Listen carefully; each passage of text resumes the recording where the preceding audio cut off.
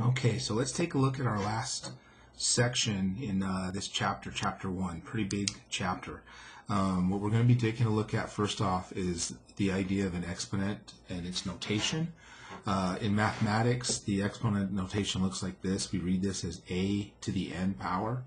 Uh, the n is what we refer to as the exponent, although I know you students like to call it the power.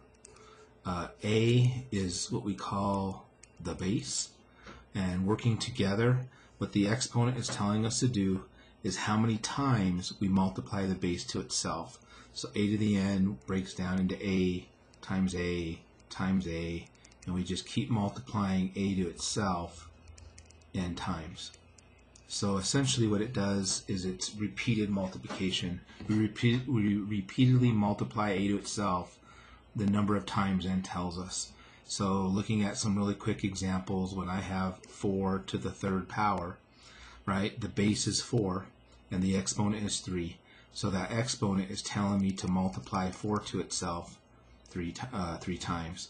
And just moving left to right, right, that's 16 times 4, giving us 64. And so that's pretty much how it works. So let's go take a look at some situations, uh, kind of evaluate and practice using this idea of exponents with their base. Um, and the first one, uh, the 4 is sitting right on top of the 2. And so the 2 is working as the base, and we literally read this as the opposite of 2 to the fourth power. So 2 to the fourth power would be 2 times 2 times 2 times 2, and then we're taking its opposite. Uh, when you multiply this together, we get 4 times 4, and the result is a negative 16. So the interplay between the exponent and the, and the base, it's whatever the exponent sitting directly on top of, that serves as your base and needs to be repeatedly multiplied. So for number 2, very similar, but the negative 2 is in parentheses.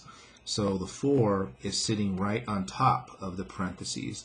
So that means that the number inside is working as the base. So this is truly the number negative 2 to the fourth power. So in execution, we basically multiply negative 2 to itself four times. And multiplying, right, that's a 4, and that's a 4, giving us a positive 16. So despite being very similar, the fact that the parentheses are there changes the way we read the problem, changes the dynamics between the exponent and the power, excuse me, the exponent and the base, and so we get very different answers, opposites as a matter of fact. Uh, in the next one, the 3 is sitting right on top of the parentheses again, so whatever is inside the parentheses is serving as the base. So we're being asked to take 3 quarters and raise it to the third power. So that would be 3 fourths times 3 fourths times 3 fourths.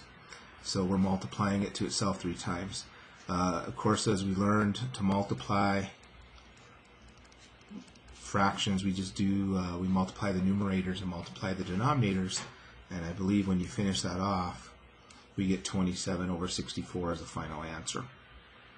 4 is very similar, but the 3 is on top of the 3. So the only thing serving as the base is the 3. So when we do this, we multiply 3 to itself four times, or excuse me, three times, and then leave the 4 in the denominator. And then, of course, 3 times 3 times 3 is 27. Very different answers based off of who's working as the base and who's working as the exponent. A uh, couple more times. Here, uh, the x plus 2 right, is in parentheses, and this power is on top of that. So when we work this out, the base is x plus 2, and we're being asked to multiply it to itself two times. So x plus 2 times x plus 2.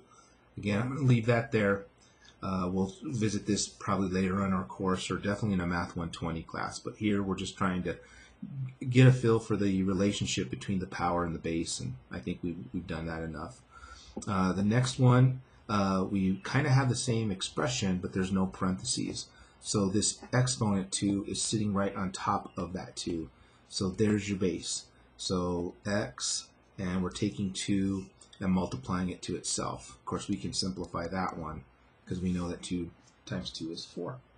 So again, just the importance of the interplay between what the exponent is and what's serving as the base It's pretty much whatever it's sitting directly on top of. And so last problem, uh, the way we read this, this is 5 minus 4 squared. So that 2, the base, is going to be 4 because that exponent is sitting right on top of the 4. 5 minus 4 squared. You can almost hear that language. So we have 5 minus 4 times 4, which becomes 5 minus 16. And if you can perform that subtraction, fine. But as we learn, subtraction is the addition of an opposite. There's more negative stuff. How much more will 16 take away 5, giving us an answer of negative 11? So kind of rolling that back to some previous uh, work that we did. But again, the interplay between the exponent and the base. The exponent always sits right on top of the base. Make sure you're clear on what that base is because it clearly has a very different execution, if you would, if you misinterpret the base and the exponent.